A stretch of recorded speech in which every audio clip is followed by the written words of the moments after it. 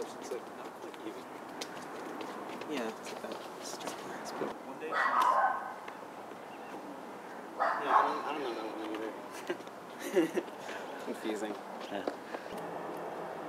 Mr. Jameson's pomegranate tree is looking quite exquisite these days. Perhaps a bit too exquisite.